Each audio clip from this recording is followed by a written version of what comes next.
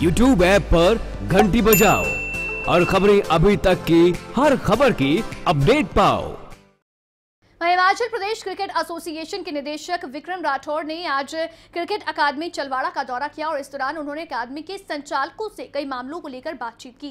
साथ ही उन्होंने चलवाड़ा क्रिकेट अकादमी में क्रिकेट की संभावनाओं को देखते हुए उसे एच के अंतर्गत लेते हुए वहाँ दो नई प्रैक्टिस पिच बनाने के भी निर्देश दिए।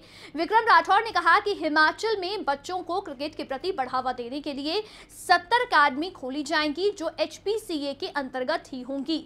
वहाँ पर लड़के और लड़कियाँ दोनों को कोचिंग दी जाएगी और उसके बाद अकादमी के टूर्नामेंट भी करवाए जाएँगे, जिससे हिमाचल राज्य के बच्चे अपनी प्रतिभा को निखार कर राष्ट्रीय और अंतर्राष्ट्रीय स्तर पर क्रिकेट खेल पाएँगे।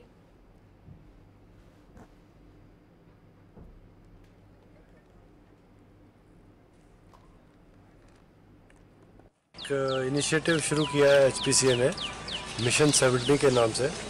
अनुराग जी ने शुरू किया था ये लास्ट ईयर उन्होंने अनाउंसमेंट करी थी कि हिमाचल में जगह जगह पे सत्तर सब सेंटर्स खोले जाएँगे क्रिकेट के लिए।